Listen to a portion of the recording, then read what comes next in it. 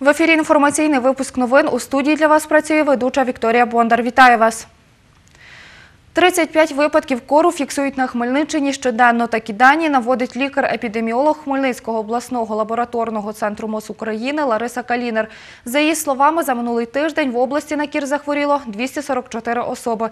Лариса Калінер каже, кір реєструють у всіх районах. Найбільше хворих у місті Хмельницькому – 373 та у Кам'янець-Подільському районі – 185. Головний лікар Хмельницької міської інфекційної лікарні Оксана Піддубна додає, за вихідні до них поступило 24 хворих з діагнозом кір. Серед них 13 дорослих та 11 дітей. Загалом цьогоріч на кір захворіло 1500 1542 людини. Нагадаю, за минулий рік в області було зафіксовано 1324 випадки кору. День рожевої сорочки під такою назвою пройде загальноміська акція у обласному центрі, розповідає голова правління громадської організації Молодь за краще майбутнє Леся Романюк. Каже, учасники акції зможуть висловити свою позицію щодо проблеми цькування у навчальному закладі. За словами Лесі Романюк, активісти пройдуть мирною ходою у центрі міста. Ми будемо йти з дуже цікавими е, рожевими плакатами, рожевими. Прапорцями Е, усі учасники акції будуть мати на собі елементи рожевого одягу. Е, І також у нас я думаю, що це корисно для міста не лише в тому плані, що можна вийти і проголосити про те, що е, права і свобода будь-якої особистості є в пріоритеті, і кожна людина, яку турбує проблема насильства в нашому суспільстві, проблема булінгу може долучитися до цього. Ця проблема вона турбує як учнів, так вчителів, так і батьків.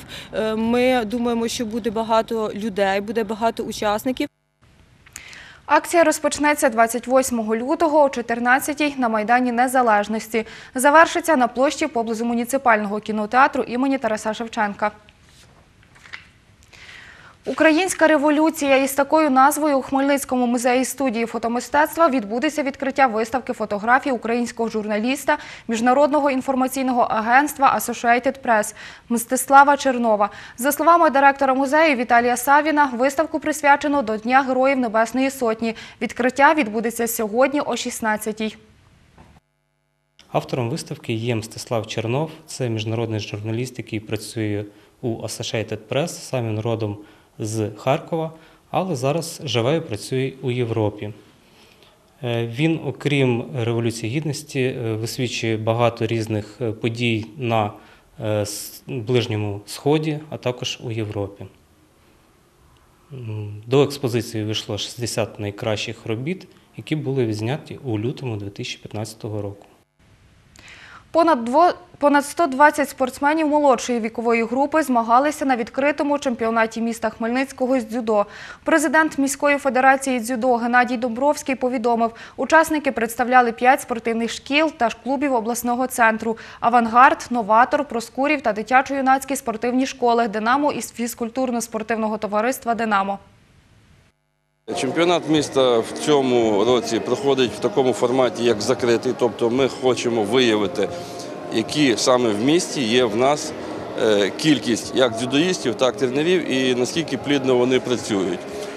Звичайно, враховуючи традиції дзюдо нашої області, нашого міста, в нас є перспективна молодь, підлітки, е, які при належній підготовці здатні стати призерами чемпіонатів України. Ну і якщо вони там будуть е, добре виступати, то і, звичайно, їх будуть включати у збірні команди України для участі в міжнародних стартах. За словами Геннадія Домбровського, у Хмельницькому та області дітей молодшого шкільного віку масово відвідують спортивні секції, в тому числі дзюдо та в підлітковому віці талановиті спортсмени виступають до спортивних інтернатів і виступають за інші регіони України.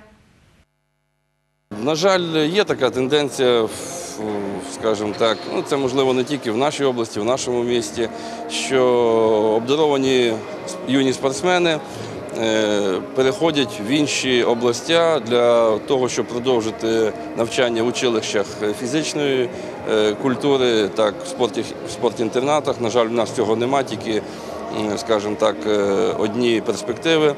І тому ми втрачаємо, ми втрачаємо цю здібну молодь. Юнацькі регбійні команди 2004-2007 років народження змагалися в Ірпіні Київської області на турнірі, присвяченому 30-й річниці виведення військ з Афганістану. Тренер Хмельницького регбійного клубу «Буревісник» Олександр Мігунов повідомив, організували змагання Федерація регбі Київської області, Ірпінська дитячо-юнацька спортивна школа та Українська спілка ветеранів Афганістану. У підсумку зіграних матчів у віковій групі 2004-2005 років народження перемогла команда Київської області. Другими були гравці Київської Дарниці. Третє місце посіла Хмельницька команда. А в віковій групі 2006-2007 років перемогли хмельничани. Друге та третє місця посіли дві ірпінські команди. Наразі це всі новини, які ми встигли для вас підготувати. Більше дивіться у наступних випусках. Побачимось!